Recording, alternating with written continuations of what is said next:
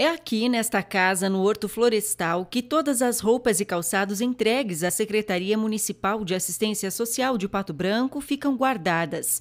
Uma equipe trabalha na triagem. As peças são separadas, higienizadas e ficam à disposição para a realização de brechós sociais, que acontecem nos bairros da cidade. Aos poucos, as peças são destinadas às famílias carentes, aqueles que mais precisam. Nesta campanha do agasalho, o pedido é especialmente para aquelas roupas mais quentinhas, roupas de frio, em especial para as crianças, que este ano são o público-alvo da campanha.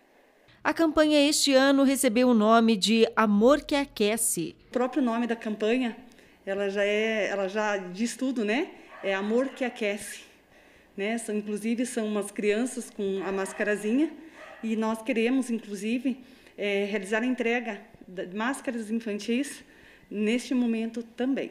O pedido para quem vai fazer a sua doação é que sejam peças em boas condições de uso. A gente sempre orienta e faz esse chamamento aí à sociedade, né, que todas as roupas que forem doar, que elas estejam em bom uso, estejam limpinhas. Isso facilita também o trabalho e a gente é uma demonstração de carinho, né? Não é só não é um descarte, mas é uma doação para aquela pessoa que necessita. A campanha, que teve início no dia 30 de abril, segue até o dia 30 de maio. O dia D de arrecadação das peças será 16 de maio. Também, né, é, é, decorrência aí é, da pandemia, nós estaremos recebendo todas as doações na Secretaria de Assistência Social.